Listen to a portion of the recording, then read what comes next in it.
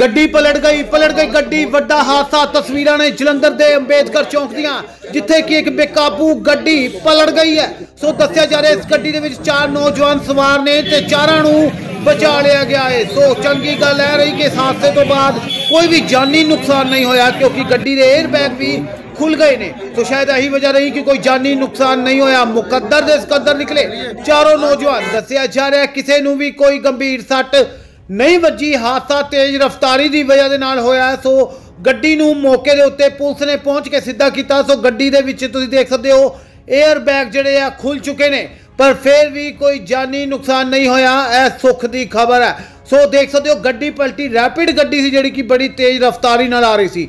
ਸੋ ਮੌਕੇ ਦੇ ਉੱਤੇ ਇਹ ਹਾਦਸਾ ਹੋਇਆ ਜਲੰਧਰ ਦੇ ਅੰਬੇਦਕਰ ਚੌਂਕ ਦੇ ਕੋਲ। ਸੋ ਗੱਡੀ ਪਲਟ ਗਈ, ਪਲਟੀ ਹੋਈ ਗੱਡੀ ਨੂੰ ਪੁਲਿਸ ਨੇ ਮੌਕੇ ਤੇ ਪਹੁੰਚ ਕੇ ਕੁਝ ਇਸ ਤਰੀਕੇ ਦੇ ਨਾਲ ਸਿੱਧਾ ਕਰਵਾਇਆ ਹੈ। So Dainik Mail Punjabi TV ਤੇ ਤੁਸੀਂ ਦੇਖ ਰਹੇ ਹੋ ਕਿਸ ਤਰੀਕੇ ਦੇ ਨਾਲ ਪਲਟੀ ਗੱਡੀ।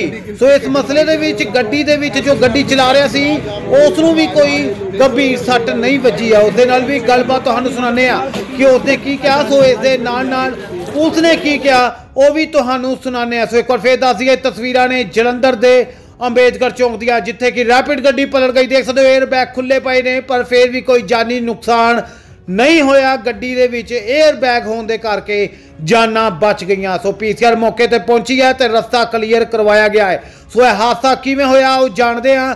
ਉਸ ਨੌਜਵਾਨ ਦੀ ਜ਼ੁਬਾਨੀ ਜੋ ਗੱਡੀ ਚਲਾ ਰਿਹਾ ਸੀ ਯਾਨੀ ਕਿ ਜੋ ਨਿਕਲਿਆ ਹੈ ਮੁਕੱਦਰ ਦਾ ਸਿਕੰਦਰ। ਦੈਨਿਕ ਮੇਲ ਪੰਜਾਬੀ ਟੀਵੀ ਦੇ ਲਈ ਵਰਿੰਦਰ ਸਿੰਘ ਦੀ ਰਿਪੋਰਟ ਦੇਖੋ। ਕੀ ਕਿੱਥੇ ਗਏ? ਕੀ ਕੀ ਨਾਮ ਸੀਗਾ ਕਿਹੜੇ ਗੱਡੀ 'ਚ ਸੀਗੇ?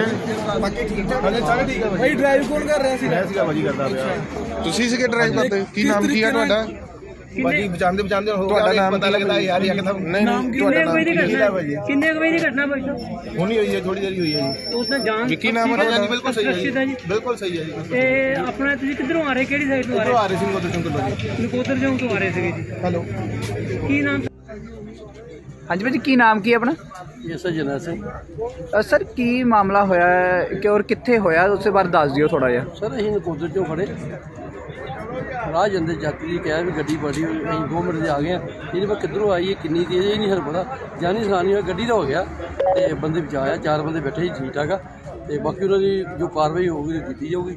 ਜੋ ਕਿਸ ਰੋਡ ਤੇ ਐਕਸੀਡੈਂਟ ਹੋਇਆ ਸਰ? ਇਹ ਫੋਟੋ ਜੋ ਅ, ਗੱਡੀ ਕਿਹੜੀ ਹੈ ਕਿਹੜੀ ਗੱਡੀ ਹੈ ਰੈਫਟ ਕਾਰਵਾਈ ਅੱਛਾ ਜੀ। ਕੋਈ ਜਾਨੀ ਨੁਕਸਾਨ ਤਾਂ ਨਹੀਂ ਹੋਇਆ ਭਾਜੀ? ਕਿੰਨੇ ਜਾਣੇ ਬੈਠੇ ਸੀ ਗੱਡੀ ਦੇ ਵਿੱਚ? ਮਾਲਕ ਦਾ ਨਾਮ ਪਤਾ ਲੱਗਾ ਕਿਹਦੀ ਗੱਡੀ ਹੈ ਨਹੀਂ ਉਹ ਕਦੇ ਵੀ ਦੱਸਣੇ ਬਾਅਦ ਠੀਕ ਹੈ ਜੀ। ਏਰੀਆ ਕਿਹਦਾ? ਕਿਹੜੇ ਥਾਣੇ ਦਾ ਏਰੀਆ ਪੈਂਦਾ? ਚਾਰ